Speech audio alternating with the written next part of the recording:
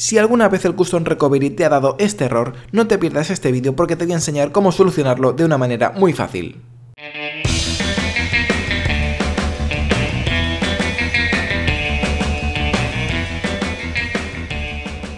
Este error es bastante típico en algunas versiones de Android y lo que tenemos que hacer es ir al ordenador y descomprimir la imagen que nos hemos descargado.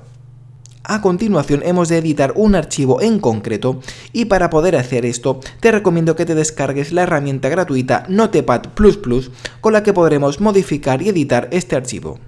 Pues nos vamos a la carpeta descomprimida y nos metemos dentro de la carpeta MetaInf, luego en Com, luego en Google, luego en Android y le damos a clic derecho editar con Notepad++ en el archivo update script.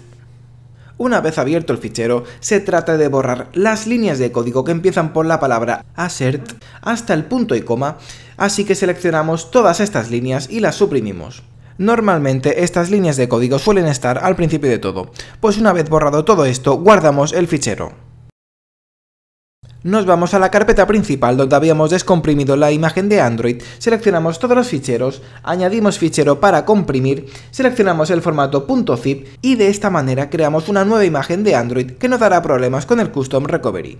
Pues volvemos a nuestro terminal y como vemos a la hora de instalar esta nueva versión no da ningún tipo de problema y podremos instalar la versión de Android que queramos.